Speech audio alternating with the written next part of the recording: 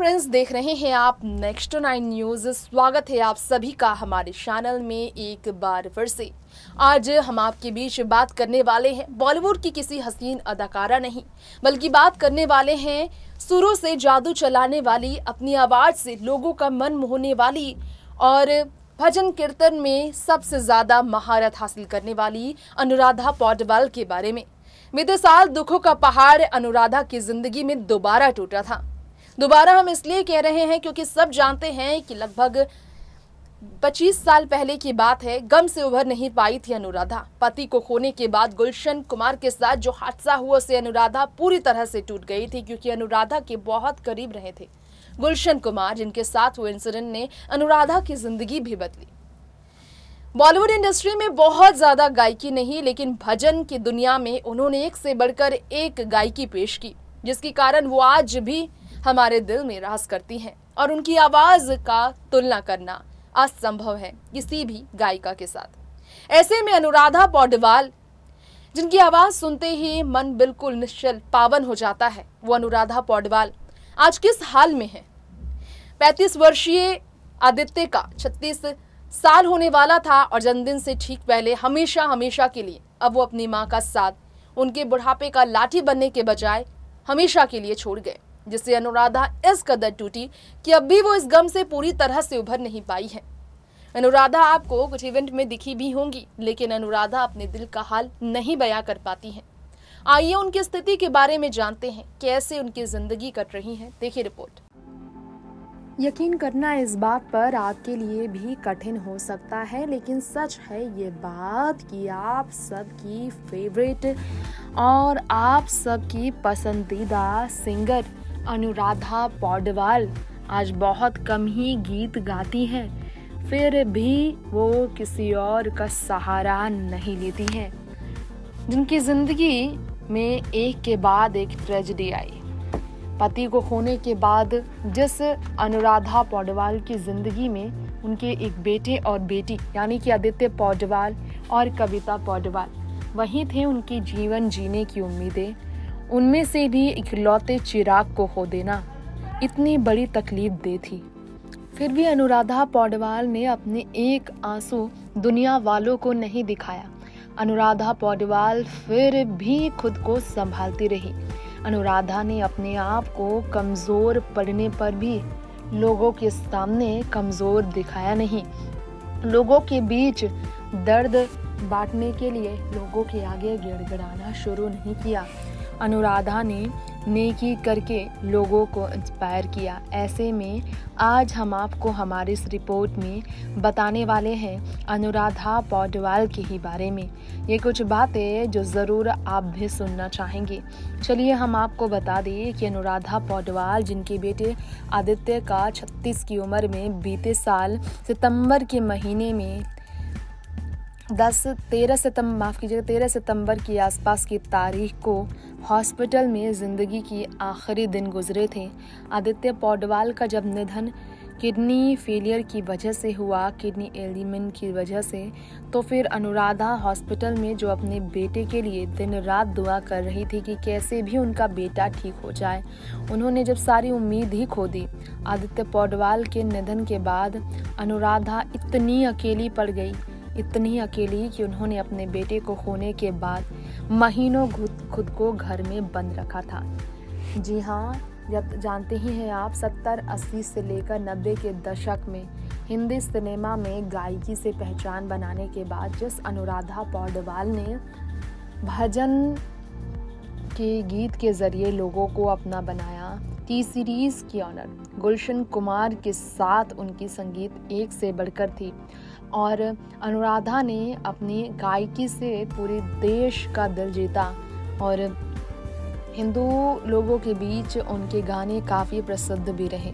ऐसे में अपने बेटे के निधन के बाद, किडनी फेलियर से सफ़र करने वाले अपने बेटे को खो देने के बाद अनुराधा ऐसे टूटी थी कि लोगों ने सोचा भी नहीं था कि वो फिर से उभर पाएँगी।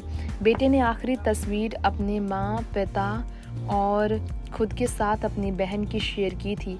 चार अगस्त की तारीख को बीमारी के दौरान जब काफ़ी ज़्यादा आदित्य पौडवाल टूटे हुए थे।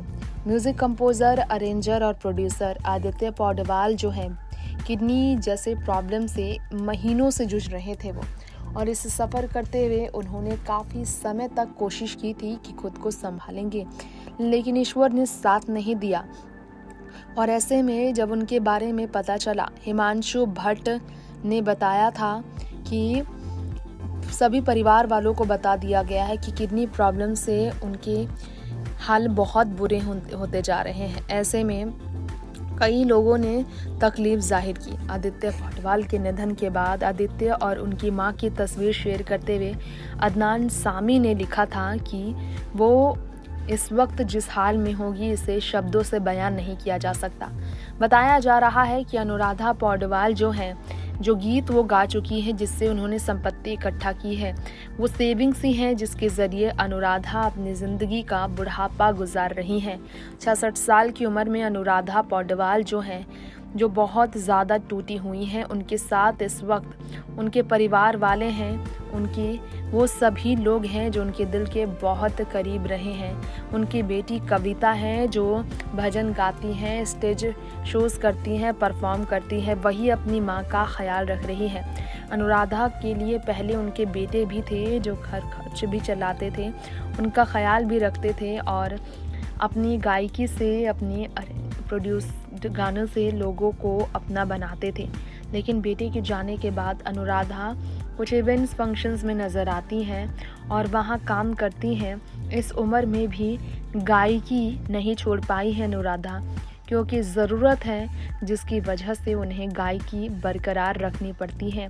टापे की इस उम्र में भी गाना गाती हैं अनुराधा पौडवाल।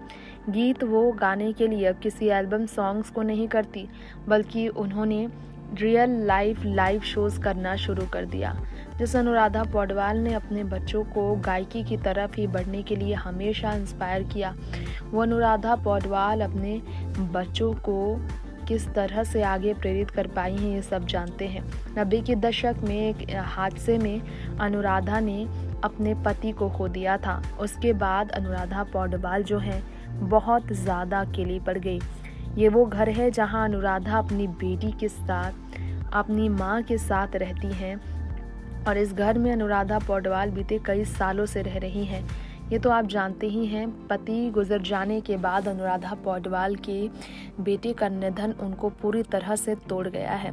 अनुराधा की खूबसूरत आवाज़ की जगह कोई नहीं ले पाया है। कहा जाता है, लता मंगेशकर के बाद अनुराधा की ही आवाज़ थी जो बॉलीवुड में सबसे बेहतरीन मानी गई। अब आपको बता दें कि अपनी दुनिया अपने बच्चों के साथ बसाने वाली अनुराधा को, अपनी बेटी को खो देने के बाद बहुत तकलीफ़ में देखा गया है। आदित्य भी पेशे से गायक थे, कई भजनों को भी उन्होंने गाया, फ़िल्मों में भी उनका जादू चला। ऐसे में उन्हें खोकर अनुराधा पेशे से भी कमज़ोर पड़ गई हैं। जानकर आपको भी रोना आएगा। एस डी बर्मन के असिस्टेंट रह चुके अरुण पौडवाल की पत्नी बनने के बाद अनुराधा अपने पति का हमेशा सपोर्ट करती थी। म्यूज़िक इंडस्ट्री से उनका अच्छा खासा नाता रहा है। अनुराधा पहले पति की मदद करती थी। पति के जाने के बाद वो बहुत अकेली पड़ गई थी। बॉलीवुड में वो गाना छोड़ चुके थे क्योंकि अनुराधा के परिवार वाले उन्हें बॉलीवुड में गाने के लिए पहले खुशी से, राज़ी से उन्हें इजाज़त नहीं देते थे। ये सब जानते हैं कि अनुराधा बुढ़ापे में भी कई तरह के गीत बजाती हैं और अपनी बेटी के साथ ही मिलकर भजन, कीर्तन करती है। साल उन्नीस सौ उनहत्तर में सत्रह साल की उम्र में अनुराधा ने अरुण से शादी कर ली थी। अरुण उनसे उम्र में दस साल बड़े थे। फिर भी प्यार में पड़ी अनुराधा ने ये फैसला ले लिया था, जिसके बाद वो हमेशा साथ रही।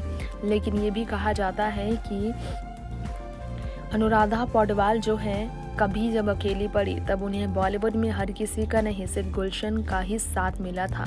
गुलशन के जाने के बाद अनुराधा और भी अकेली पड़ गई थी। करियर के शिखर पर जब थी, तभी उन्होंने अपनी सिंगिंग के करियर को अलविदा कह दिया था। उन्होंने कहा, करियर के टॉप पर होते हुए सिंगिंग को अलविदा कहूँ ताकि मुझे लोग हमेशा याद रखें। मैं यही चाहती हूँ, यही अनुराधा अपनी ज़िंदगी में चाहती थी और इसकी वजह से वो बिल्कुल अकेली पड़ गई हैं। दोस्तों, वक्त हो गया है अब आपसे यहीं पर इजाज़त लेने का। अनुराधा पौडवाल की ज़िंदगी की कहानी हमने आपको बताई और इस वक्त उनके बुढ़ापे की लाठी बनी हुई है उनकी प्यारी बेटी कविता। ईश्वर से कामना करेंगे कि कविता का साथ उनके साथ हमेशा बना रहे। और जीवन जीने की जो उम्मीद अनुराधा अपने बेटे के चले जाने के बाद खो चुकी थी, उसे किसी भी तरह से टूटने न दे उनकी बेटी कविता। फ़िलहाल वक्त हो गया है यहीं पर आपसे विदा लेने का। तो देखते रहें इंडस्ट्री की हर खबर हमारे चैनल नेक्स्ट नाइन न्यूज़ के साथ। और एक भी अपडेट मिस ना करने के लिए चैनल को ज़रूर करें सब्सक्राइब। नमस्कार।